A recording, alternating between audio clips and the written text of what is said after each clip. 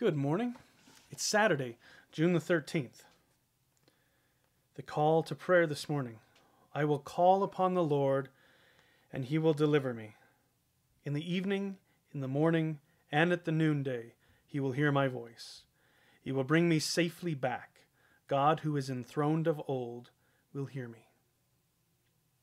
The request for presence today is Psalm 85. Show us your mercy, O Lord, and grant us your salvation. The greeting today is Psalm 65 4. Happy are those whom you choose and draw to your courts to dwell there. They will be satisfied by the beauty of your house, by the holiness of your temple. The refrain for the morning lessons is Psalm 84 1. How dear to me is your dwelling, O Lord of hosts. The gospel reading today is from John chapter 10, verses 14 to 16. Jesus said, I am the good shepherd. I know my own, and my own know me, just as the Father knows me, and I know the Father, and I lay down my life for my sheep. And there are other sheep I have that are not of this fold, and I must lead these too, and they too will listen to my voice, and there will be only one flock and one shepherd. How dear to me is your dwelling, O Lord of hosts.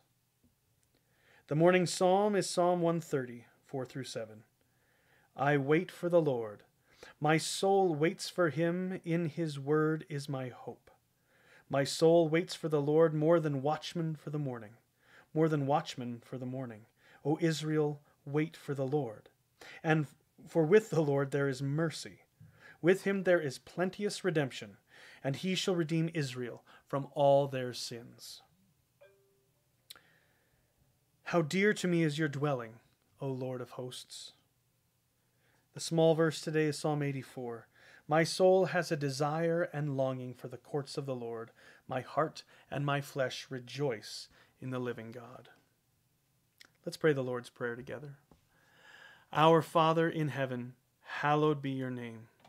Your kingdom come, your will be done on earth as it is in heaven. Give us this day our daily bread and forgive us our sins, as we forgive those who sin against us. Lead us not into temptation, but deliver us from the evil one. For yours is the kingdom, the power, and the glory forever and ever. Amen.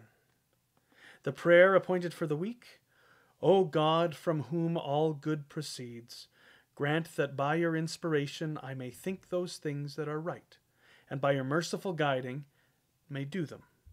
Through Jesus Christ our Lord who lives and reigns with you and the Holy Spirit, one God, forever and ever. The concluding prayer of the Church Lord God, Almighty and everlasting Father, you have brought me in safety to this new day.